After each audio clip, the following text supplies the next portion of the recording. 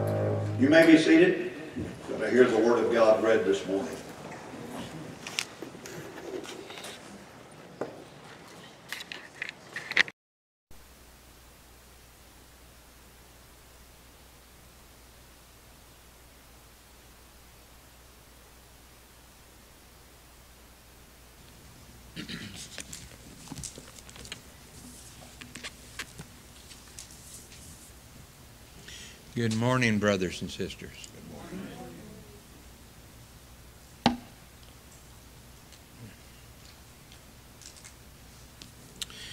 We'll be reading from Second Chronicles, chapter 29.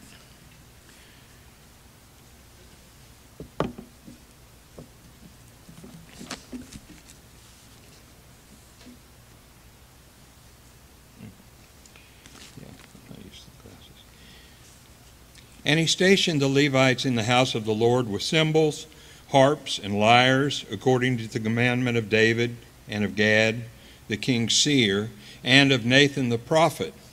For the commandment was from the Lord through his prophets. The Levites stood with the instruments of David, and the priests with the trumpets. Then Hezekiah commanded that the burnt offerings be offered on the altar and when the burnt offerings began, the song to the Lord began also, and the trumpets, accompanied by the instruments of David, king of Israel. The whole assembly worshiped, and the singers sang, and the trumpeters sounded. All this continued until the burnt offering was finished. When the offering was finished, the king and all who were present with him bowed themselves and worshiped. And Hezekiah the king and the officials commanded the Levites to sing praises to the Lord with the words of David and Asaph the seer. As they sang praises with gladness, and they bowed down and worshiped. Then Hezekiah said, You have now consecrated yourselves to the Lord. Come near, bring sacrifices and thank offerings to the house of the Lord. And the assembly brought sacrifices and thank offerings, and all who were of a willing heart brought burnt offerings. The number of the burnt offerings that the assembly brought was seventy bulls, one hundred rams, and two hundred lambs. All these were for a burnt offering to the Lord, and the consecrated offerings were six hundred bulls and three thousand sheep. But the priests were too few and could not flay all the burnt offerings. So until other priests had consecrated themselves, their brothers, the Levites, helped them until the work was finished. For the Levites were more upright in heart than the priests in consecrating themselves. Besides the great number of the burnt offerings, there was the fat of the peace offerings, and there were the drink offerings for the burnt offerings. Thus the service of the house of the Lord was restored, and Hezekiah and all the people rejoiced because God had prepared for the people, for the thing came about suddenly. We thank God for the reading Amen. of His word.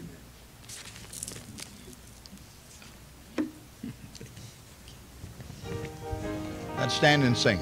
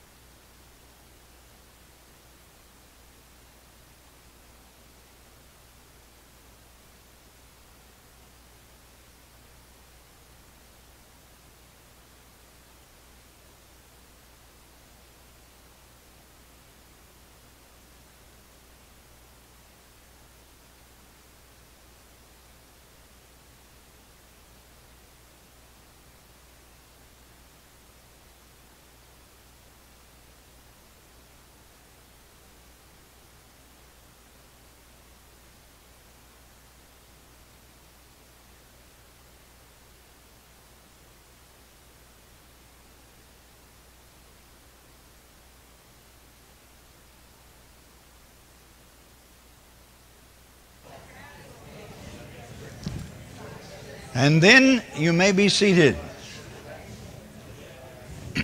you may be seated.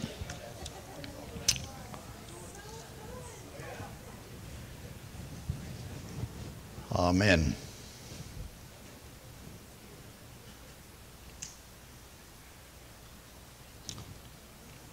We're going to continue in the service as we normally do about this time, and that is with prayer. Praying that we'll have the Lord's intervention and healing power, various things that are needed by us, He, pro- he provides. We are limited, He is not.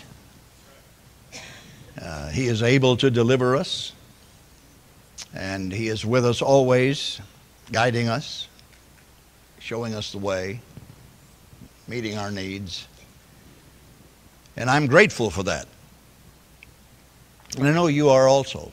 We're, we're blessed beyond what we are able to thank Him for. We slow down and try to get it said, and just a kind of a moan or a grunt does the job.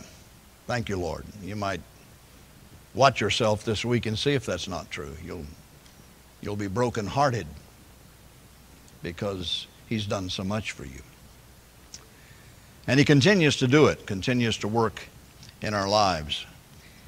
I, um, and I know some of you have thought this way, maybe all of us have by now. You know, we, we don't normally stop and ask the question, what has it been like for you to be a disciple of Jesus in this period of life that He's been your Lord? What has it been like? Has it been easy? Has it been hard? Maybe we don't put that on it. We just get the calling and the love and we take a step and then we take another step and we take another step. But through the years, reading various stories of people who spent their lives trusting Jesus and telling the story, again and again it seemed to come up that they were a little more beat up after the last run than they were when they started it. There's a little more um, that looked like just kind of runners in the skin, you know. Something indicating conflict, warfare.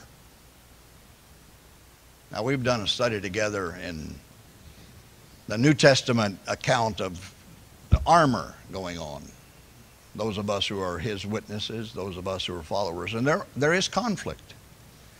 for anyone in this world who walks with Jesus and follows him. We are going to have tribulation sometime. And I don't like that idea any better than you do, but it's just, it's pretty clear in the book. It's pretty clear in the account of Scripture. And I can tell you, after about 73 years or so, when you look back and bring yourself up to where you are, up to snuff, we used to say, that's not a good thing to say in church, I guess, up to snuff, not real bad, not real good.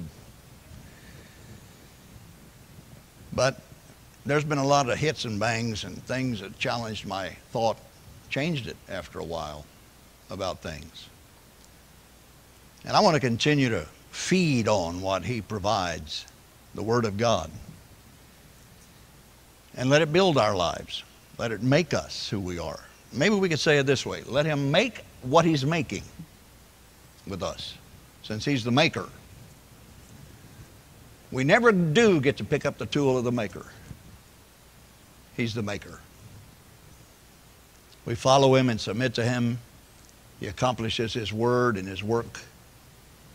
And uh, we are part of that. So thank God for that. But it, it might be a good thing to do sometime, just sit down with a bunch of us and let's, let's talk about what it's meant to be a disciple.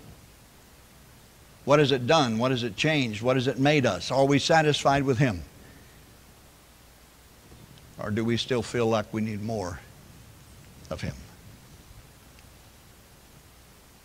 Listen to this text. I'm going to put this before the prayer, before the, the prayer that's coming. I'm in Psalm 119, and I've been in Psalm 119 quite a bit this week.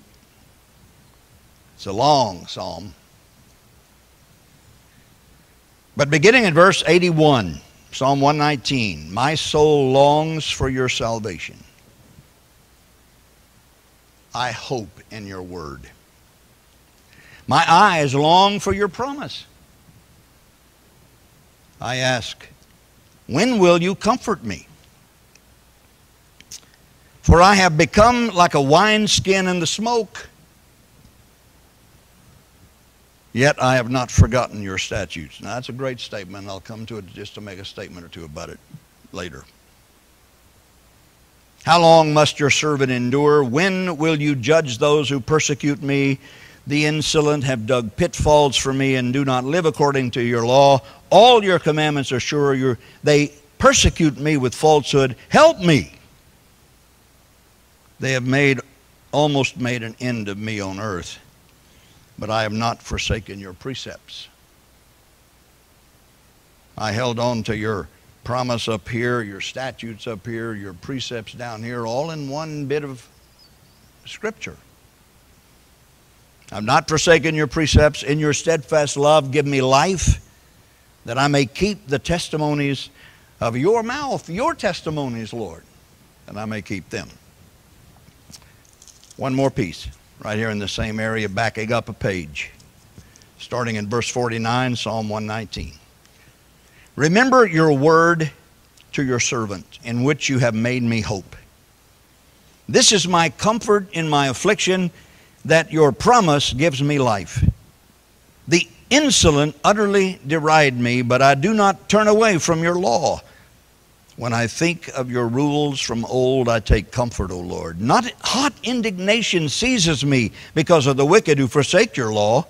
Your statutes have been my songs in the house of, the, of my sojourning. Your statements, statutes, have been my songs in the house of my sojourning. I remember your name in the night, O Lord, and keep your law. This blessing has fallen to me that I have kept your precepts.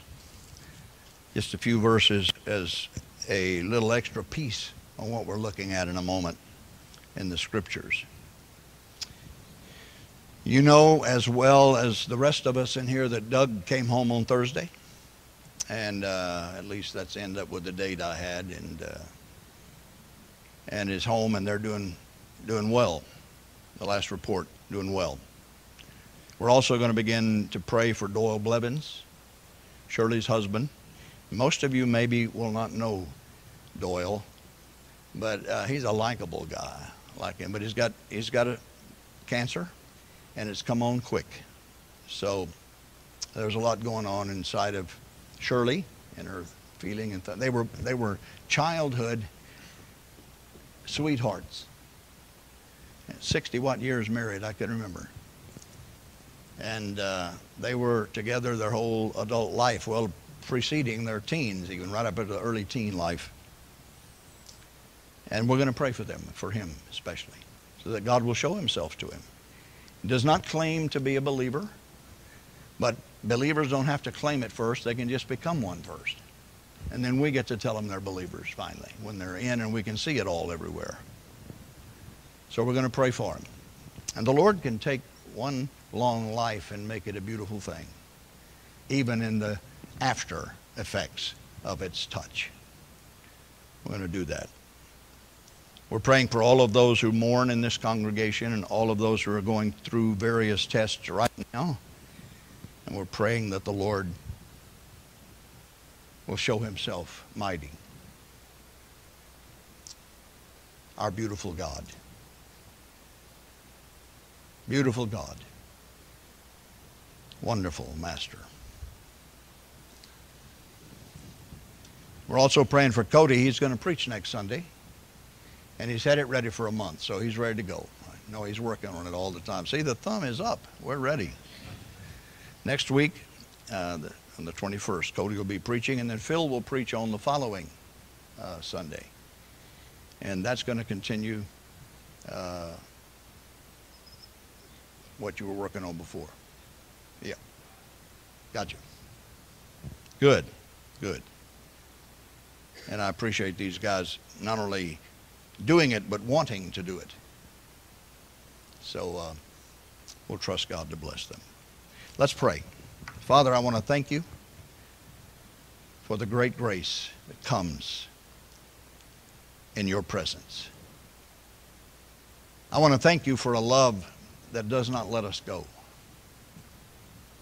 I want to thank you for the sense and the majesty of your person touching ours, changing us, shaping body of Christ.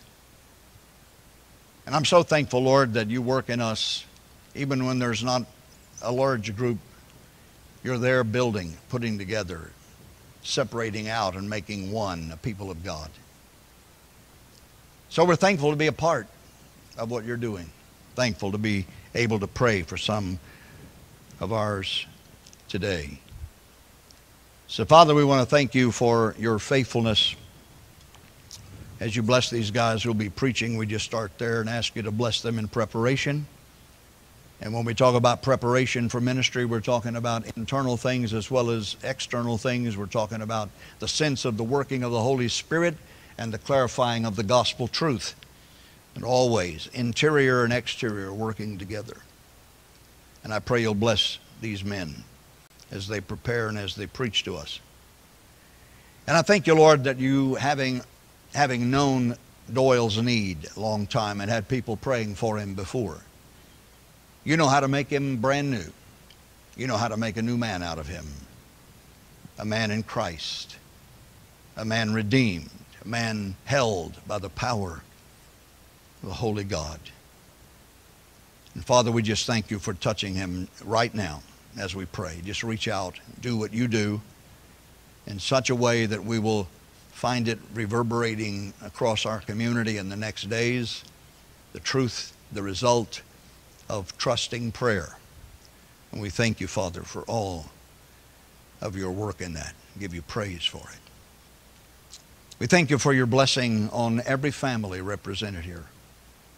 We ask you to work in the lives of those who are reaching out to you, not able to be here today, but reaching out to you for access to the God who hears our prayers, the God who is our Father, the God who is able to deliver us. May you do your work in and have your way with each one of us.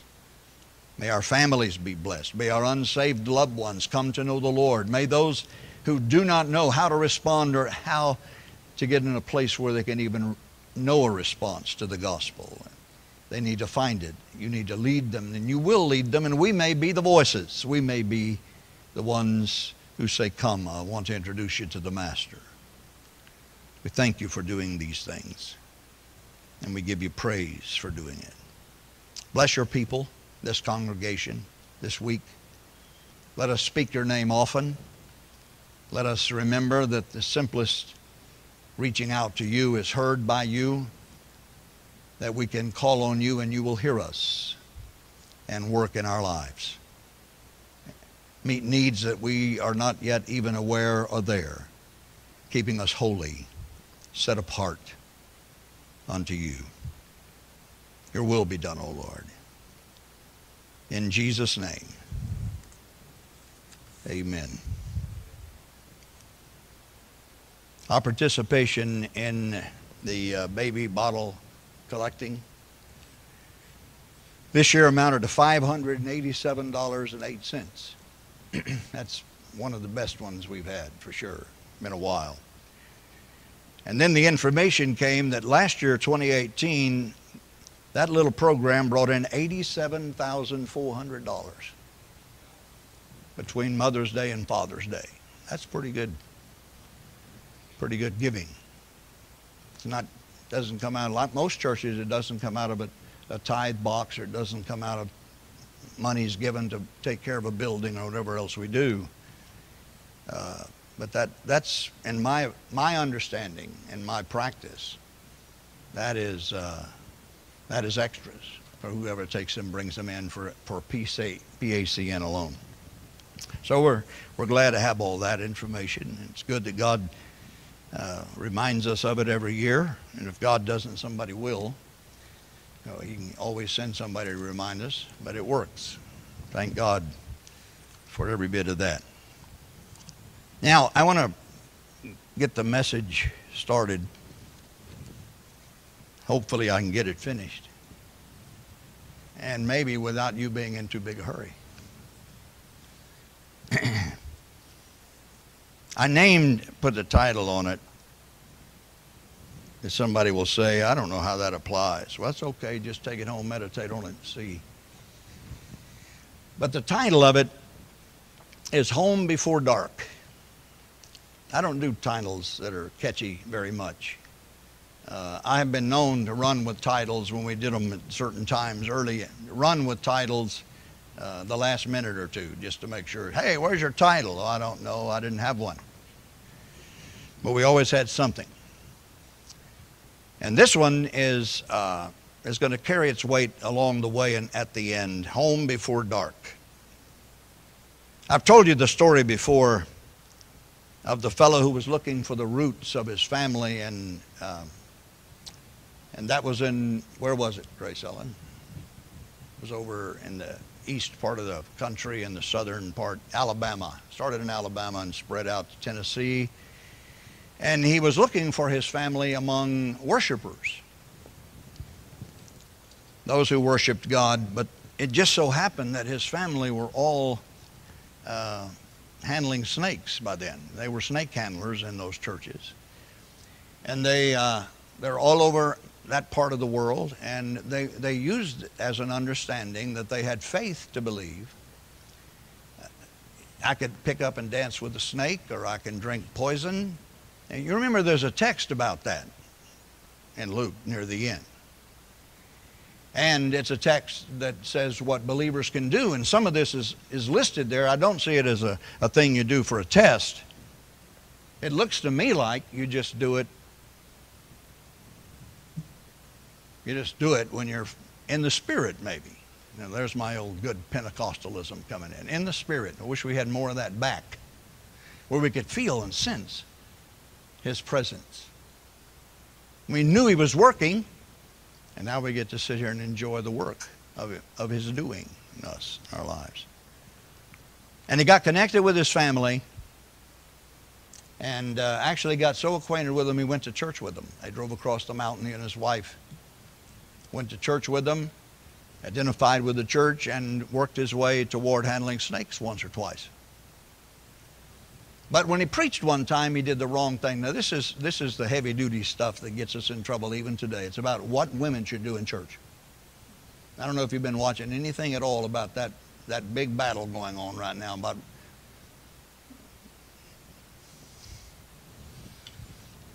whether Beth Moore can actually say any more teaching in these churches or not. That's where it's at. So then you got to decide who is the woman here and what is she doing? I usually walk away with my head shaking because it always leaves you questioning. This is based on the teaching of Scripture that does not allow women to teach men. How many were familiar with that a long time? Not enough of us. No wonder we get messed up. We don't even know what we believe about that because we haven't gotten involved with it at all. And it's all over the place right now.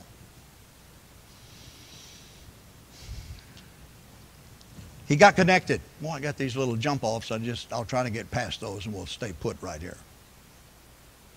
But he he preached that it was freedom for a woman to, to testify in the church and handle the snake or whatever it is.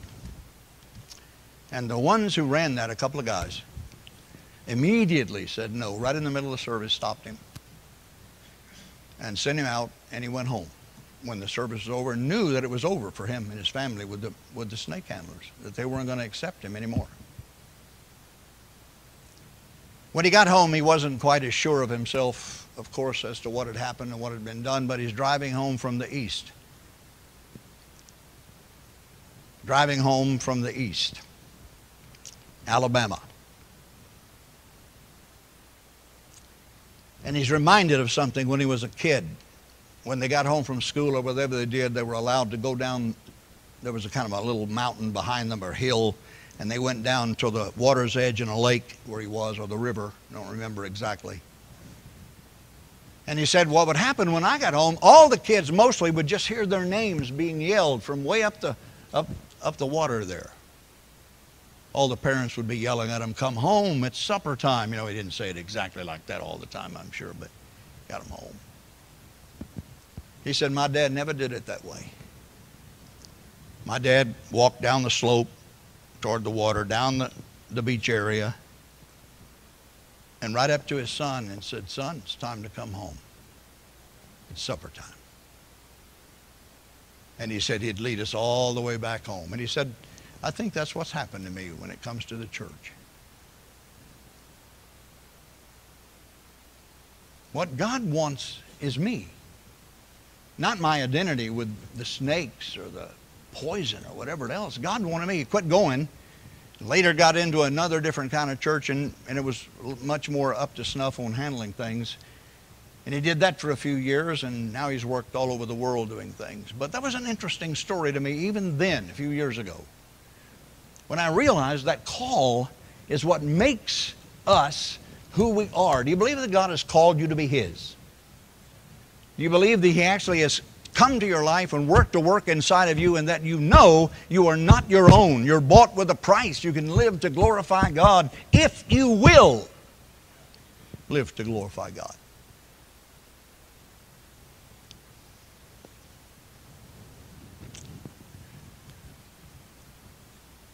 I want to share a little bit of this about the bottle and the smoke. It's kind of an illustration for us to see.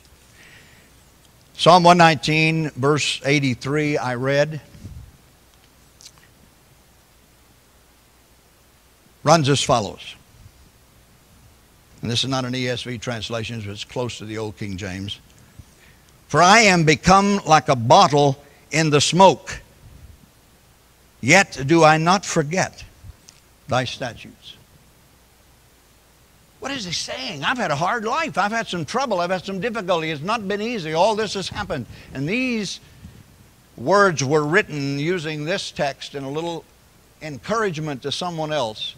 Back in the 30s, they used it and reframed it in a little bit in a piece of article I had to read. Now, we'll miss the point if we don't remember that the bottle is a vessel made of skin. It's leather, it's cowhide. They make these containers and they're wineskins, we'd call them. Put wine in a new wineskin.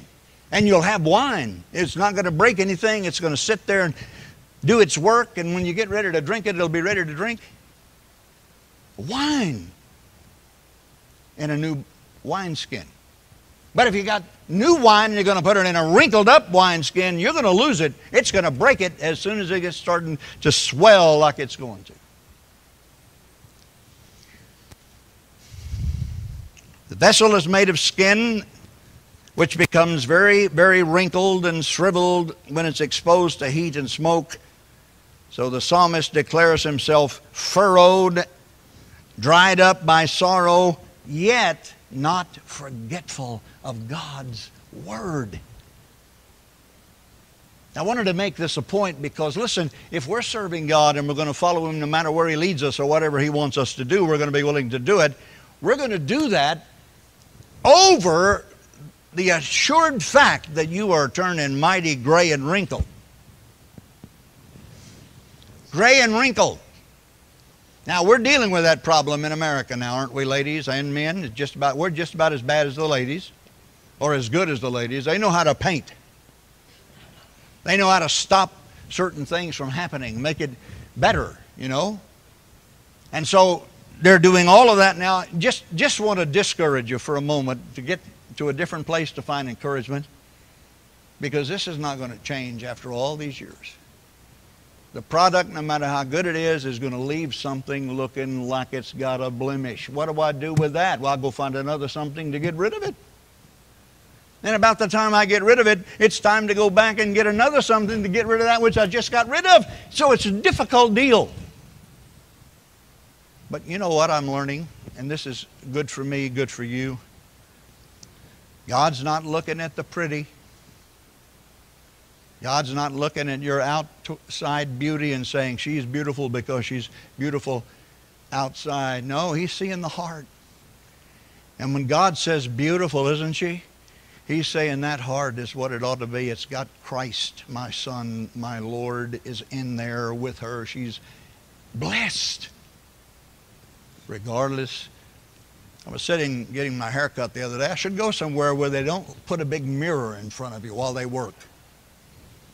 Sitting in front of this nice mirror, it's a great, it looks like it makes it larger. I don't know, I, I'm not going to ask. I just make up my own plans about that. Sitting in there, and she's, uh, she's trying to work some things around and get them straightened up, and it was difficult. And I saw she's going to whack too much right here. And she did whack too much, but not too, too much. Does that make sense?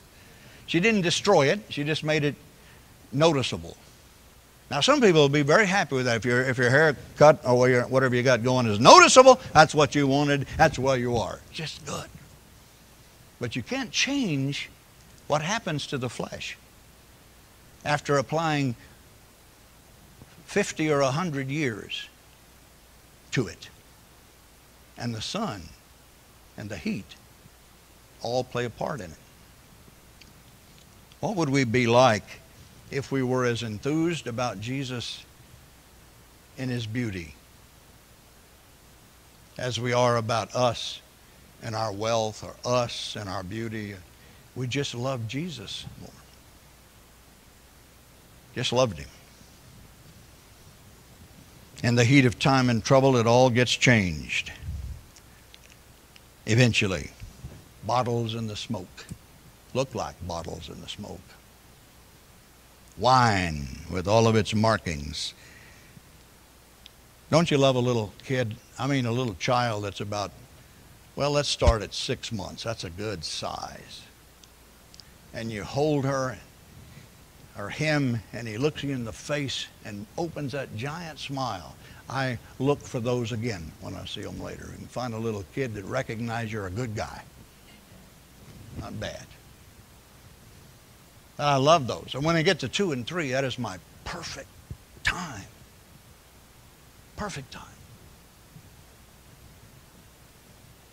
When Daryl and Sherry brought Danielle to the Northwest, we had their visit. We were up there.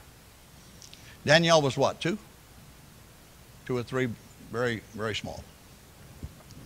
She was walking all over the place. We were, we were out in a beautiful area with the big trees north of Vancouver. And um, it was just a beautiful day. And there was a tree with a hollow in it, down starting about that high. It had a little V down there where it could go through. So she was, she was into that going through the tree thing pretty good. So we called it Danielle's tree. That's how she got it named, Danielle's tree. And she just grabbed me, and I got a picture of her. She grabbed my hand, and we walked away from the camera and had the picture from the back. You've seen it on the bulletins a time or two, so it just turned out really good. And it was a blessing. But you know what? Danielle is still a beautiful young lady, but she ain't no baby. Pardon my English.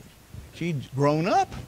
She got to deal with, with adult things now and identify with people with her kids and get the training. She's doing a really good job. But I just, I like to look at that and realize, because she asked us about some things she sells, and she asked us if we liked them. I didn't know we took them.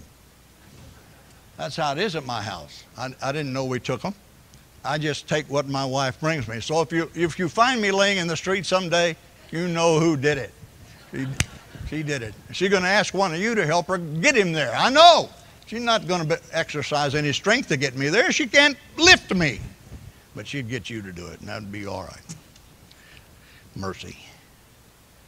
Have mercy. It's inevitable. And that part of, of what is said right here is, is inevitable when, it, when we talk about it's coming true. And if that, that part of the verse is going to come true, we can see to it that the rest of it also must come true. You got this imagery. The outside, all these markings and this dust and gray. And, and on the inside, you're holding on to his words. On the inside, you're clinging to the word of God that in spite of how much we look old, we really are getting younger in Christ Jesus. Our trip home is shorter for most of us, not everybody in here anymore, but is shorter for many of us adults on the home side than the beginning side. But oh, what a joy to look forward to Jesus coming not forgetting your statutes. And if we're going to have to reap the wrinkles, we can also remember the word, don't you think? Take that word to heart.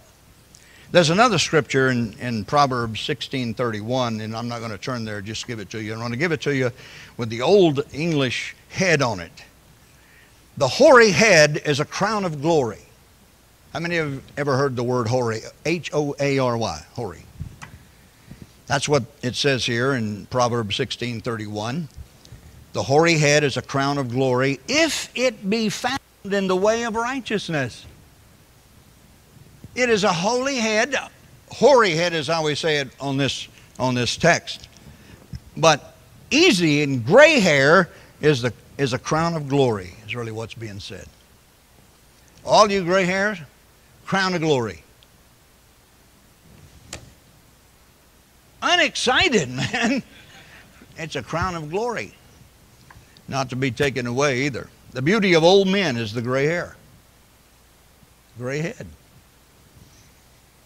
Blessed is the man who meets the inevitables of life with spiritual resources, who meets what's happening with the Word of God always, always looking to hold to it and trust in it and walk by it.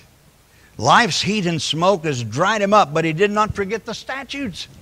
He had them. This is what God's Word said. Look at me, that's bad. Look at this, this is us. Go at home. Gathered in and the broken old man and his wife were being treated to some special recognition for a lot of years of life together this prayer meeting in the home was, was more than just that. It was an aged couple who were being honored. They were uh, too feeble now to attend church. It was a precious service with neighbors gathered in and the broken old man and his wife in place of honor. Time had devastated them. broken speech, failing eyes, trembling hands, furrowed faces, told a tale of many years. They made a pathetic picture, but it soon changed. We were singing those familiar old lines through many dangers, toils, and snares. I have already come. His grace hath brought me safe thus far, and grace will lead me home. Tears coursed down wrinkled faces, and a smile of confidence displaced the gloom. Time had not devastated them, they had become like bottles in the smoke, wineskins in the smoke. But they had not forgotten their statutes. That is why Jesus bids us lay up treasure in heaven beyond the reach of moth and rust and thief and theft. These work havoc with everything else. We soon become like bottles in the smoke. But it, if we have hid his words in our heart, in the midst of our sorrows, we are reminded of his statutes. May God help us see that inside of us along the way. Let's head toward home. We've got to get that done in just a little while. Home before dark. Like the kids getting finally home for supper. What's our destiny? What are we looking for in the finished product when we get home? We're going to see Him face to face. We're going to behold the glory revealed there, added into this glorious body of the redeemed. We'll be able to look back at our life and hopefully say, Thanks, Lord, for the amazing times you were there. For the time when we had a baby coming and the numbers were not good, high. And God so marvelously worked and continues to do so. I know you're like me because there are times in my life when these things build up in someone's life that we love, someone in our family, someone near to us. We pray, we wait, we talk, we do what we can. But our prayer is always, Lord, you are the only one. Come. Put those numbers right. Bring that baby out. Let it be done that way. And he's done it that way. I think sometimes too many people assemble at God's house who don't really believe in his power at all. People who don't have a sense of his majesty or his greatness. Having begun in the Spirit, what do we do?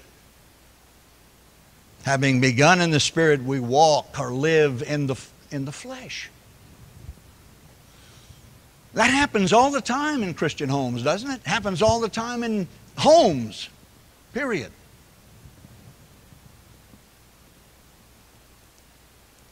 Heard about a boys' school where every morning before classes the youngsters were supposed to recite the Apostles' Creed. By the way, we will get back to the Creed in a couple weeks. Each one was given a segment of the creed. Listen, I believe in God the Father Almighty, and so on down the line. One morning they were getting along pretty well until all at once there was a dead stop and a profound silence. Then a lad spoke up and said, The boy who believes in the Holy Ghost is not here this morning. the boy who believes in the Holy Ghost is not here this morning. Well, should he have been? Man, let me tell you, if you got a, if you got him reading the creed, that's a very important part of the creed and an acknowledgement of God the Spirit, Almighty in His being and His doing.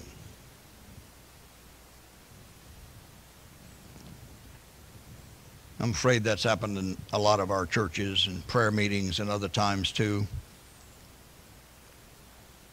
There's a story I read this week of a pastor who met one of his delinquent members and said, Well, I haven't seen you in church much lately. He said, No. He said, You know how it's been. The children have been sick, and then it rained, and it rained, and it rained. Pastor said, Well, it's always dry at church. Yeah, he said, That's another reason why I haven't been coming. You got a way to get it, don't we? dry there, not going to go. Had it. It shouldn't be that way when we realize who we're dealing with. Realize we're dealing with the God who is just so living and alive that is unlimited in dealing with us. Yeah.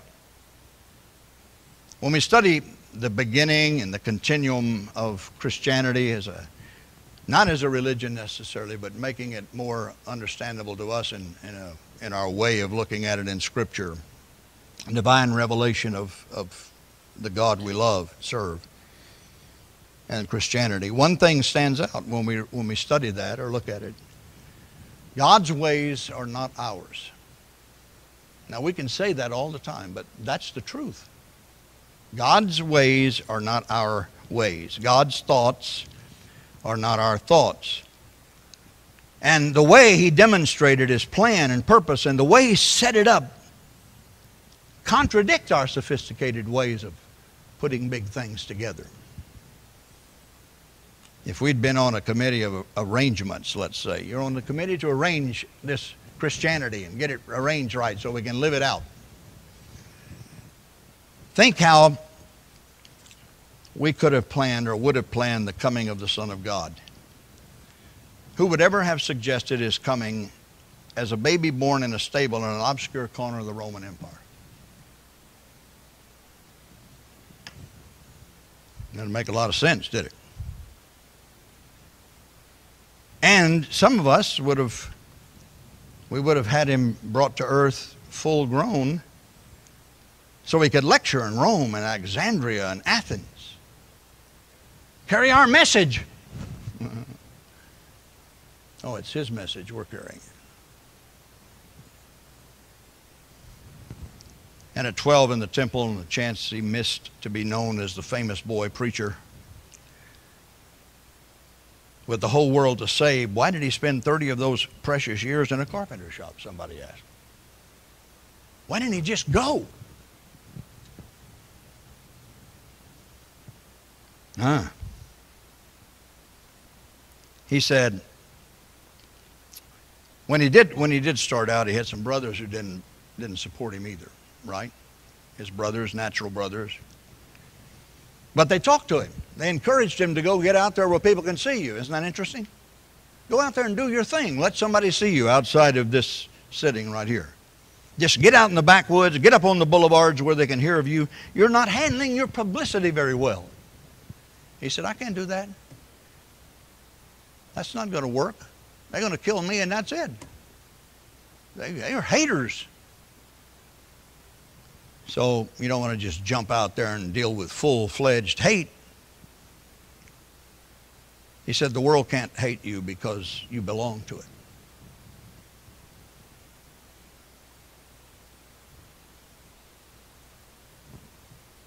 Think about it.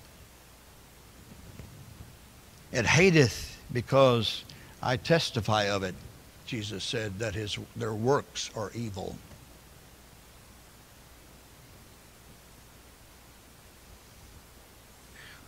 When that demoniac, you remember him? Crazy Joe? Well, okay, some of you missed Crazy Joe probably, but Crazy Joe. That was a name I gave to this demoniac. When he was healed, wanted to join the evangelistic party, which is exactly what he wanted to do. He wanted to go with Jesus, with that crew. And we look at this thing. Jesus said to him, Now you can go home and tell them what God has done for you. That's not normal for him. He often kept people close by rather than sending them out when he wasn't ready, and they weren't, or the people they were going to, maybe. He would have known. We don't. No, you go home and tell them what God has done for you, what a chance they had to make this ex demoniac something special, Think what an attraction he would have been. Ex wild man will be here the next morning. People, come on, ex wild man.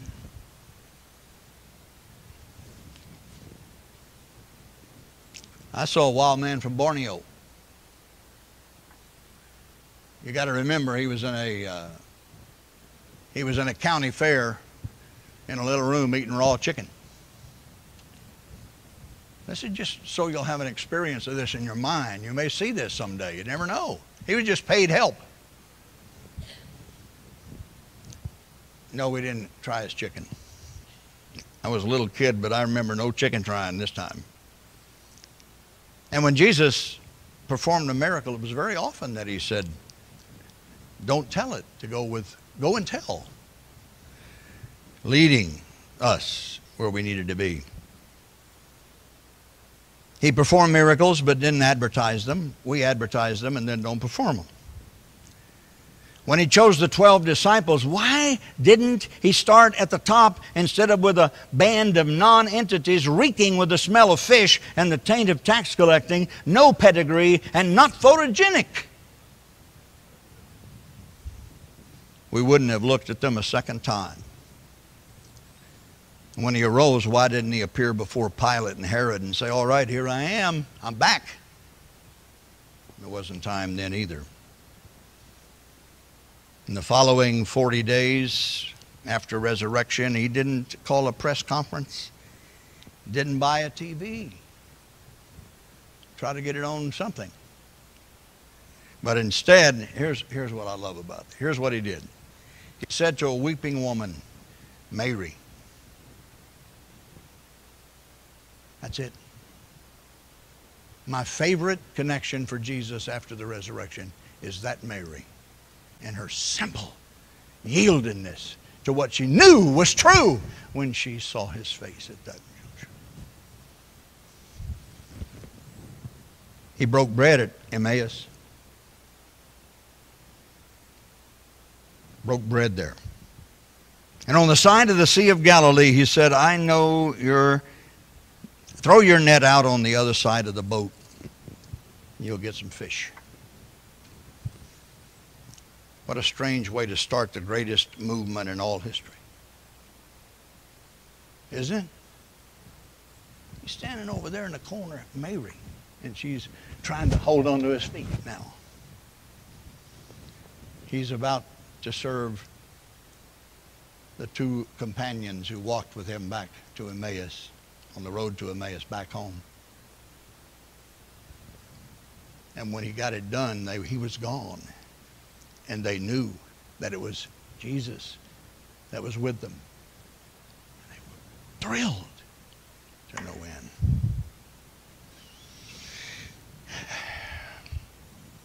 We try to demonstrate the gospel often the way the world demonstrates everything else.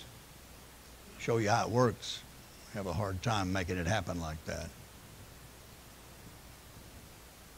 There's never been a culture since the beginning of Christianity in which a Christian could feel at home. We start feeling at home in the culture, not when we're no longer desiring to make a difference in somebody's life, but if we're just looking to live it full in a way that's not very good.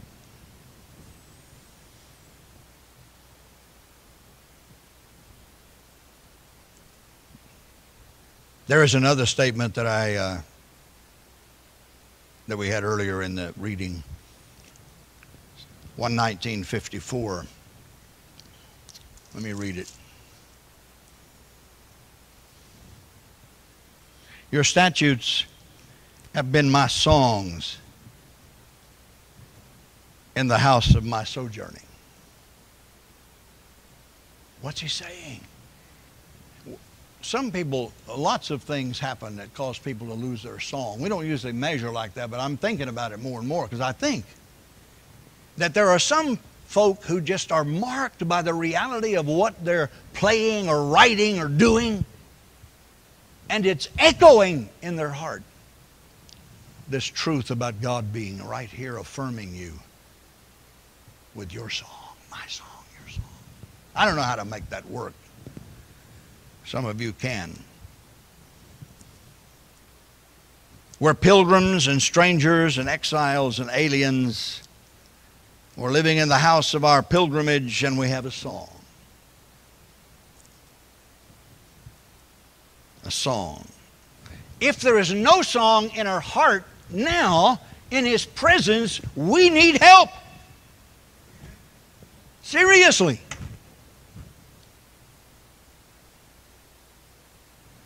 I was trying to find this song the other day without the grace was helping me. We couldn't find it.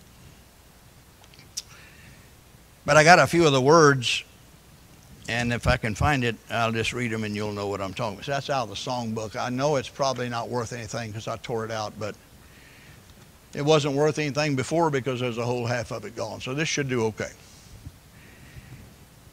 My heart was distressed neath Jehovah's dread frown, and low, in the pit where my sins dragged me down.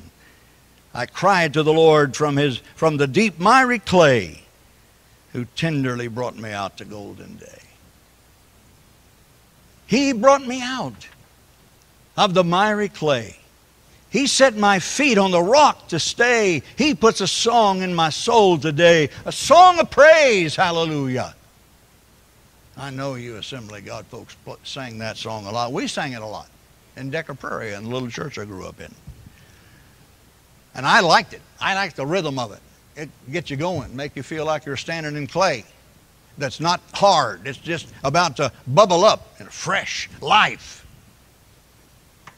Wow. You know what we see here? We've been lifted out of the miry clay. Our feet have been put on a rock and a song has been put in our mouths. And what is that song? See, we don't know what song it is now. Haven't had a name of a song or a group of songs. Then it says, and this is how you translate it out. Instead of your statutes or other things, we just say thy statutes. That's the language they were using. Your statute. Your statutes come. Pilgrims, strangers, exiles, aliens, in that house of privilege, we have this song, which is made up of the statutes of God. We have songs that are encompassing God's Word, made by God's Word. You can serve God and sing it, and sing it, and sing it, and sing it.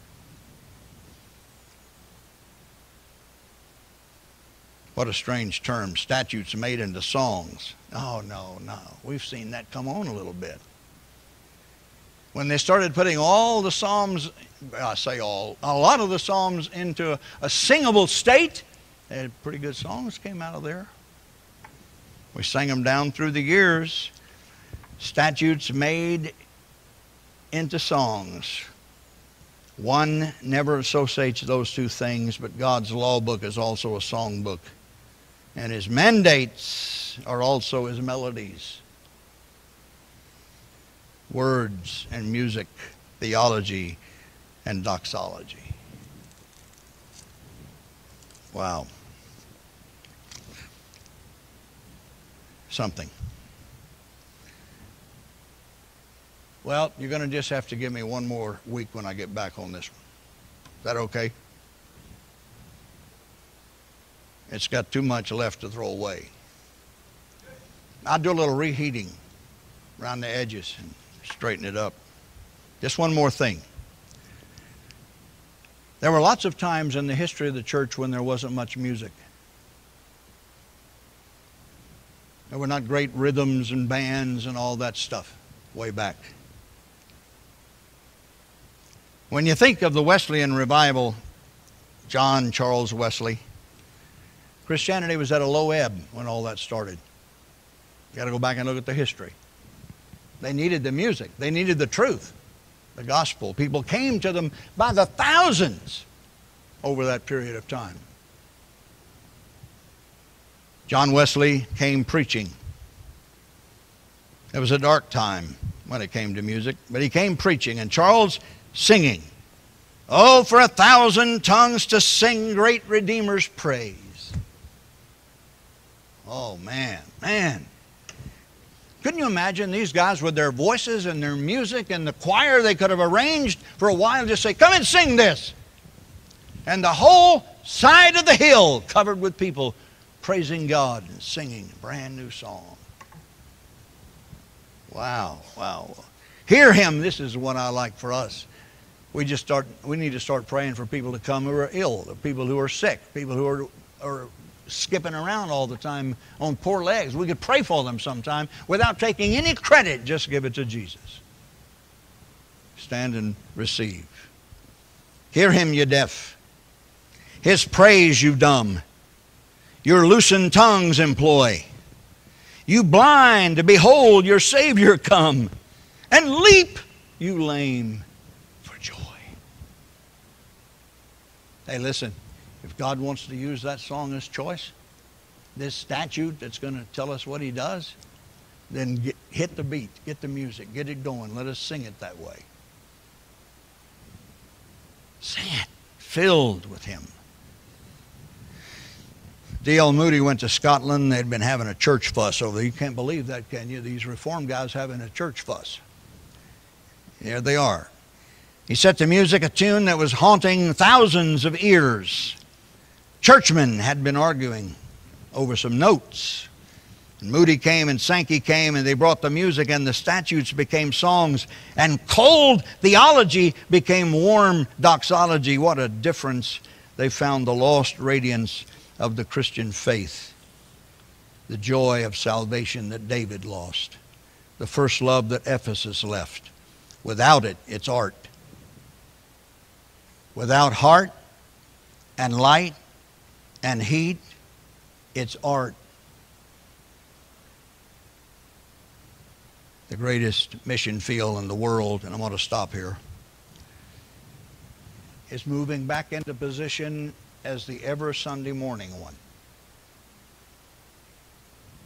Do you know there are people who visit and come to this church all the time who never yet quite get in because they're not saved? We don't ask them that often. So we need to kind of understand there is a message to share at the beginning. And it's ours to share and give.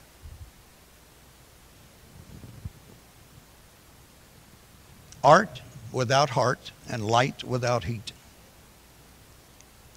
And then one last word, and this is just a word to us who preach, I think.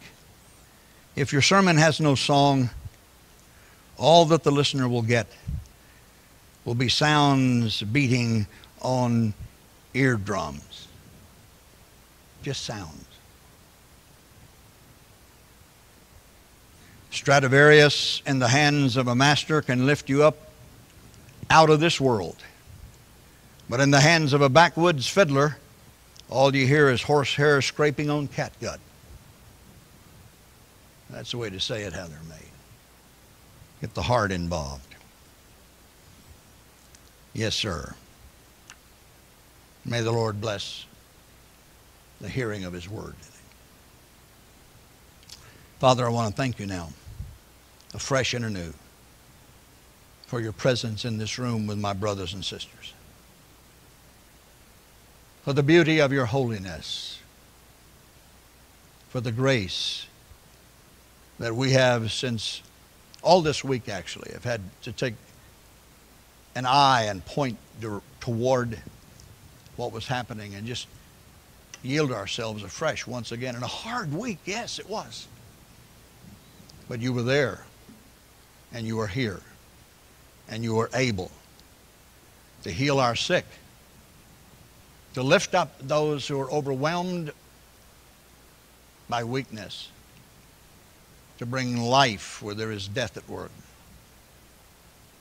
to give wholeness where there is hardness, no joy, no life. Bless these people, Lord. Help us to respond to you today and in the days ahead to walk before you with all of our heart to see your glory. In Jesus' name, amen. If you want others to join me here in praying for you. You come when the song is being sung, okay? I invite you to come. We'll lay hands on you. We'll talk to you. We'll pray. And uh, any of you who cannot get out of your seat. We'll pray with you there if you want us to. All right? Serious as I can be about that, I want you to open your heart to the Lord Jesus. He's the one who does what we see. He's the one who does what we can't see. He's the one who is who he is. And we love him. All right, let's sing. Respond to him.